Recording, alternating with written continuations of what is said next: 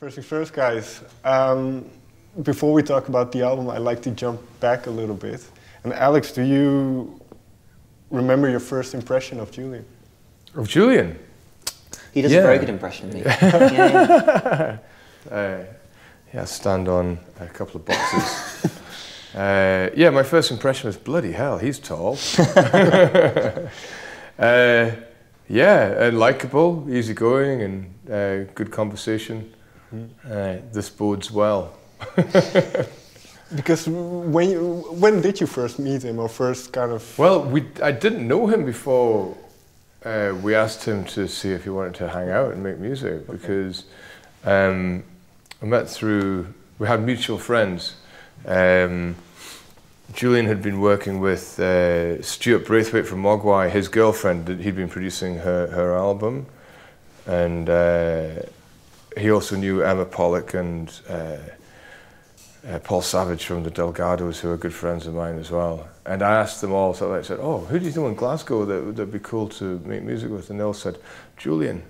So, uh, I owe them a pint at least each. Yeah.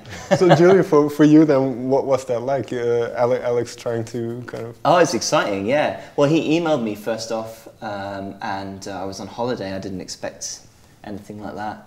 And then, uh, yeah, he was like, hey, do you want to just meet up? So we first met up in Glasgow um, in a curry place, had a bit of curry and a drink, just got chatting, and uh, it seemed like we sort of all wanted to do similar sort of things with music. We had similar ideas about music and things that we liked, which was cool. And then I came down to the studio that Alex has in, in Scotland just to do a bit of playing, just to see if uh, that was cool. And yeah, it was great. It worked really well. So before this dinner and everything, what was your impression of Franz Ferdinand? Um, well, I was a fan of Franz Ferdinand from, from when I was younger. I remember the first single coming out, and uh, in particular, the Tonight album. I remember coming out and, and really enjoying that. Like, I remember Ulysses when it came out, just being a bit confused by it at first, and I was, oh, this is a bit weird. But then, you know, the more I listened to it, I was like, oh man, this is a great song. And I feel like that's what we would, we both feel like we want to do with music is to make great songs that are a little bit weird. Well, this is this is gonna sound weird, then maybe, but why? And and and I, I, I agree. So a lot of the, the music that you made have, have been a bit off center in a way. So, so has that been a, a conscious effort on your part? I think we've always been a little off centre as a band. Um, occasionally the centre has come to us. Um, uh, And then you've got to run away again. yeah, then you've got to run away again, like make your own centre. Uh, uh, what was the question again? Sorry. Uh, So, sorry, I kind of forgot myself. But, um, uh, that your music is quite uh, off center. If that was a conscious. oh yeah, on well, there was a conscious decision. I, I think it's just an instinctive Mm.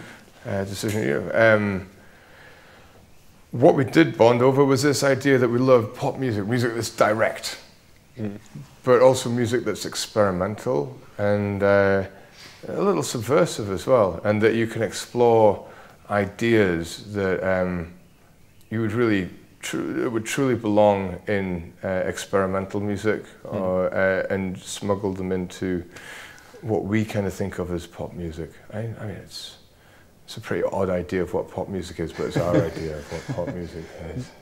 Does that mentality get more difficult as you make albums? No, the, the more albums you make, the better you get at it. Okay. The more, it's like everything. The more practice you have, the better you get at it. Well, fair enough. uh, so, so when, when uh, well, you had a talk, and you, I, I assume you go into the studios to, try some things out. Yeah, like, like Julian said, he came down to um, my studio in, in the south of Scotland. It's a very rural place. And of course, when, we, when he got down, the first thing we did was we went to the pub and had a few more drinks. And uh, then we played after that. And we came back to the studio. And you know, like that, you know straight away whether it's going to work or not. And uh, it did. And it was very exciting because we'd been writing songs, uh, but it was the first time that we heard the sound of the new band and the sound of the band performing. And you know straight away whether, you know, see if you go to a gig, right, and you've never heard a band before, and when they start, you know within seconds whether the band's cool or not. Right. You know, like, like you know, whether, oh, it's like, oh, wow. or you walk into a room and a band's playing, it's like, this is cool, what's this? You get the same feeling when you're playing in a band as well, and particularly for the first time you play together, it's just like, all right, this is good, I like this. Uh, I want to be in this band. And because it, it is quite interesting, because obviously uh, the dynamic of the band has, has changed a bit with uh, a couple of new members. So, and for you, Julian, Yeah. was that um, daunting in a way? Uh, it was exciting. I wouldn't say it was. I wouldn't say I was daunted by it. Um, it was an amazing opportunity, obviously, but I think I wanted to come in because because I've been doing my own music before being asked to join the band. I wanted to come in with like my own voice and my own ideas. I didn't want to come in and just like think about like how I should be playing or what I should be doing. You know, it's like, well, I'm here and I'm gonna I'm gonna be myself, and I guess that's what these guys were looking for as like a collaborator, not a not an imitator. Mm. Yeah, we, we, we weren't looking for a session musician. We weren't looking for somebody to come in and just play in the style that we had played in before. We wanted somebody with their own musical identity, like Julian says, a collaborator. And you, you mentioned that you kind of instantly knew did, uh, that, that it was going to work. So, do you remember what, what you were playing at that time? I do, and it was a song that's not on the record, um, but it sounded amazing. It sounded really cool. Um, and then, but I'm- I vividly remember when we played "Always Ascending" for the first time. Yeah. That was the first song we played you, wasn't it? Yeah, it was it was the- ascending. I remember yeah. when I was when the first time I came down to the studio and sitting on the rug, and then they played the demos that existed of the record so far, and Always Ascending was the first song, and I was like, yes, I want to be in this band. yeah. And with, with, with these new members, uh, how did, in your mind, the sound change or evolve uh, f- from what you had done before? Well, with the the last Franz record, it was the end of a decade. It was the end of a, a decade of the life of the band. And when that happens, and particularly when you have a, a founding member leave, you're faced with a choice. Well, two choices. First of all, do you continue?